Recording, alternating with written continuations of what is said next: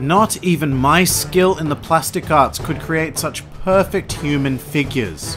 You will be wax figures with real souls. Now die in the name of art. Hello and welcome to One Piece 101, the series that breaks down everyone and everything in the One Piece world. Today, we are going to be examining a former enemy and master of wax, Galdino. Galdino is a thin and relatively frail looking man who is first introduced to us during the Little Garden arc. At this point in time, Galdino was a member of Baroque Works, a criminal organization led by former Warlord of the Sea Sir Crocodile. As a result of his membership, Galdino was assigned a code name, that being Mr. 3, which to this day is how he is more commonly known amongst the fanbase. However, despite being part of a secret organization, Galdino wears his code number quite openly and obviously on his head via the use of a molded top knot. Galdino also thinks of himself as far above average in terms of intelligence, going so far as to believe that he is a master strategist. And I can't say that's entirely untrue, as it was admitted by Crocodile himself that Galdino was assigned the rank of Mr. 3 due to his intelligence. But then again, when you take a look at the characters immediately above and below him, I'm not so sure that's a very high bar. In addition to this, Galdino also believes that he is quite the accomplished artiste, specializing in the medium of wax sculptures. Well, quite specifically, turning living people into sadistic wax statues. Galdino is able to accomplish this via the use of his devil fruit, the Doru Doru no Mi, a paramecia type fruit that allows its user to generate and control wax. And as a result of his artistic inclinations, Galdino received Miss Goldenweek as his agent partner in Baroque Works, who is a legitimately accomplished artist specializing in painting. Together, Galdino and Miss Goldenweek were dispatched to the island of Little Garden in order to engage the Straw Hat Pirates and Princess Vivi, who had previously defeated Mr. Five and Miss Valentine on Whiskey Peak. And while this goal was always in his mind, upon encountering the fighting giants Dory and Broggy, Galdino came up with a side plan to sabotage their battle and collect the 200 million berry bounty on their heads. And initially Galdino's plan was quite successful, although his act of sabotage sparked a hostile response from the Straw Hat Pirates, and a battle between the two groups began. With the assistance of Mr. 5, Miss Valentine, and Miss Goldenweek, Mr. 3 was able to entrap Vivi, Zoro, and Nami onto his quote unquote artwork and commence the process of turning the three of them into wax statues. Galdino essentially did this by creating a wax cake shaped candelabra type thing, and yeah, that's probably the best way to describe it, with a spinning dome full of burning candles on top. The idea being that as the dome spins, wax vapor slowly drifts downwards onto the targets, very, very eventually turning them into wax dolls. It's a highly convoluted process that shows Galdino's creative thought and strategic process, but it also highlights a major flaw in regards to his arrogance. Galdino thinks very highly of himself, so much so that the entire concept of having a backup plan is a bit foreign to him, leading him into a chaotic state when his wax candelabra was thwarted. Galdino then attempted to combat Luffy using his Candle Champion technique, whereby he encases himself in a wax suit to make up for his lack of physical ability by increasing his power and durability. However, this was also overcome and Galdino's final gambit was to create a multitude of wax clones, which Luffy easily saw through and swiftly defeated him.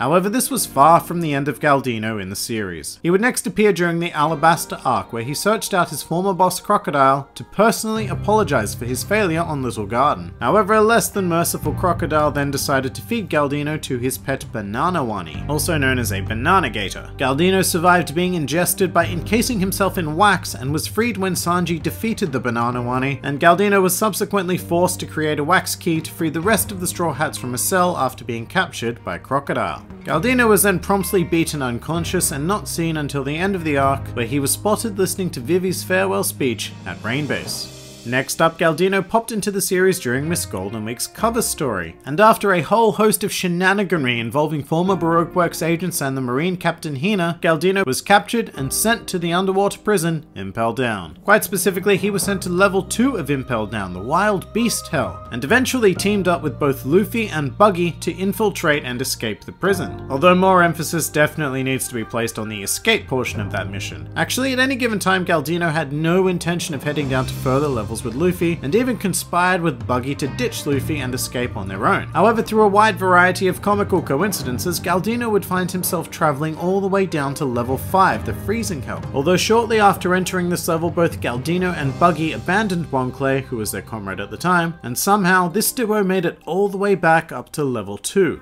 On level 2, Galdino used his wax abilities to create keys to free the prisoners and start a riot, the idea being to create a distraction so that he and Buggy could escape. Eventually, Galdino's group was incorporated into Luffy's jailbreak squad, which included Galdino's former boss, Crocodile. And in what I can only describe as a shocking display, Galdino then teamed up with Luffy to face the Warden of Impel Down, Magellan. I say shocking because up until now, Galdino had very much been characterized by a strong tendency towards cowardice, especially when faced with a strong opponent. But here, Galdino showed a rare moment of courage and a desire to repay his debt to Luffy by using his wax abilities to allow Luffy to fight Magellan without touching the Warden's poison.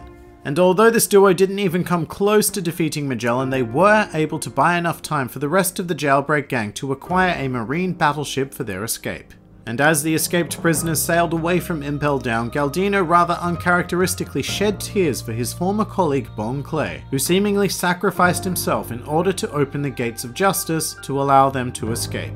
This showed that Galdino had evolved as a character from his initial cold and apathetic personality that was initially displayed during the Little Garden arc. However, Galdino would have little time to grieve as he was immediately flung into the Paramount War which was taking place on Marineford. Galdino was naturally outmatched by the incredibly strong and world-renowned combatants fighting all over the Marine base, so he switched to a more stealthy approach. In fact, Galdino disguised himself as an executioner and managed to make it all the way to Ace's execution platform with the intention of freeing him. It should be noted that he chose to do this in order to avenge Bon Clay, whom Galdino thought had been killed. Soon after, Galdino used his Devil Fruit powers to protect Ace from Sengoku's attack, as well as created a wax key to free Ace from his Sea Stone handcuffs, thus instantly making Galdino one of the most important figures in the entire Paramount War.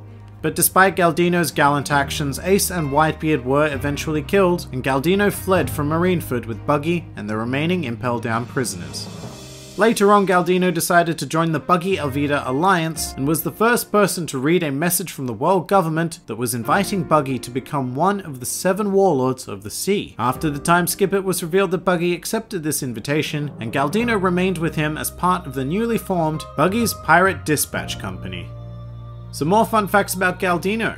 Galdino is one of only two characters thus far who have been closely affiliated with two of the seven warlords of the sea, Galdino having worked for both Buggy and Crocodile, while the other is Perona who was associated with Gecko Moria and Dracule Mihawk. During his time with Baroque Works, Galdino had a personal ship, which was somehow powered by wax. Like many other characters in the series, Galdino has a unique speech pattern, choosing to end his sentences with the suffix gane. This has no actual meaning, it's just an individual way of talking. And finally, a truly useless fact, Galdino's favourite brand of tea is Earl Grey. And that about does it for Galdino. If you enjoyed this video then feel free to like, favourite or subscribe, and please do comment with your own thoughts on Galdino. This has been the Grand Line Review, and I'll see you next time.